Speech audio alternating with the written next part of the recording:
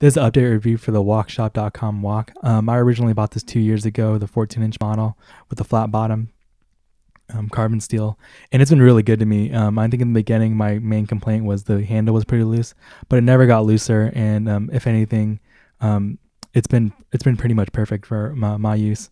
One of the cool things I didn't expect about um, having this wok is that the handle is actually made out of wood, and um, it actually picks up the oils from your hand. So you see that this one's a lot darker because this is the one I use more, and the one in the front it's a little bit lighter.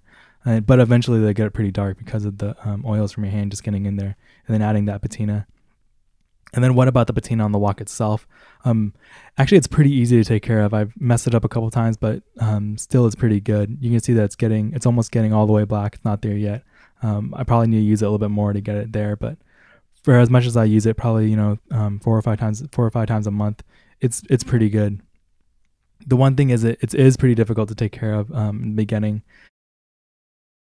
So the patina on this is pretty cool. You're gonna see that those top parts, those wider parts, those are a little bit more prone to sticking. So just be careful with them and use a little bit more oil. And then after that, I just usually season mine with um, bacon grease that I save from bacon, and it works fine. Um, those scratches are probably from uh, metal utensils that I use on it, but you kind of build up and you kind of takes a little bit off and build up over time.